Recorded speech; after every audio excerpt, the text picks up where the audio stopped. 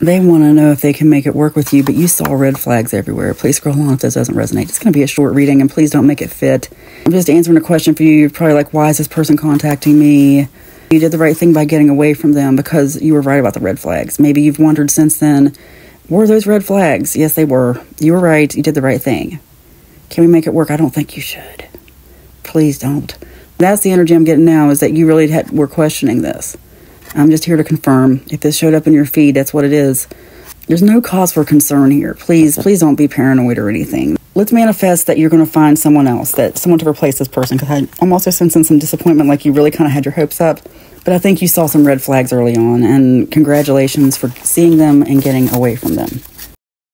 You are thankful for the abundance that always flows your way. That's the best way to get that abundance to flow your way.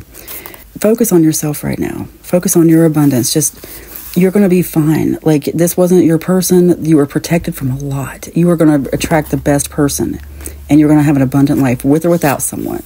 You are witty. This is important. You need to know that that's drawing people in. That's one of your best assets. you're very attractive because you're a clever, witty person. Anyway, um, one more card. You always say the right things, just like I said. You are witty. You're just someone who knows how to talk. Be grateful for that. It is spoken, it is written, and so it is. Amen.